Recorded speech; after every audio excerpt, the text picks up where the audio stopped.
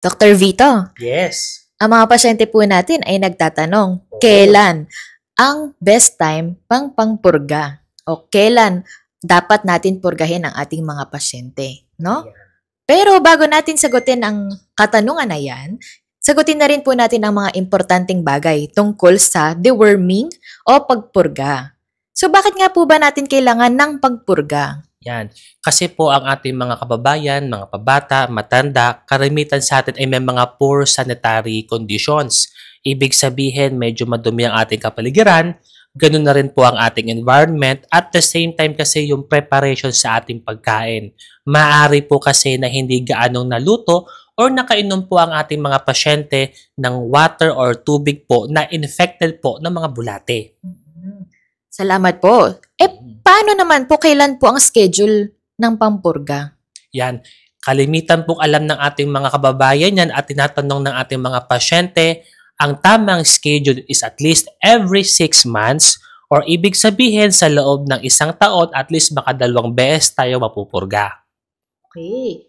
Eh, anong oras naman po dapat inumin yung pamurga po? Yan ang mga magandang katanungan eh. Kasi yung iba pag naresetahan sila, nalilimutan yung mga instruction.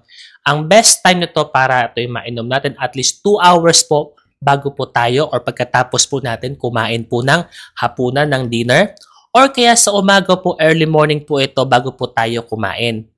Okay? Okay. Ah, so paano naman po yung mga, sino po yung hindi dapat purgahin? Yan.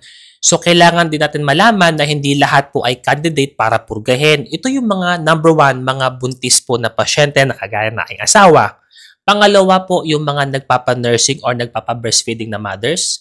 Pangatlo, kung ang inyong mga pasyente is at least less than 2 years old. Pang-apat, kung ang mga pasyente ay may problema sa kanilang mga atay or liver. At panglima, kung ikaw po ay napatunayan na may allergy po sa ininom niyo po na dating pamurga.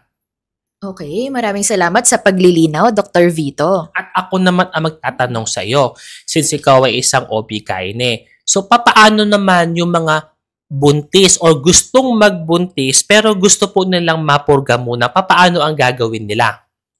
Okay, salamat sa katanungan.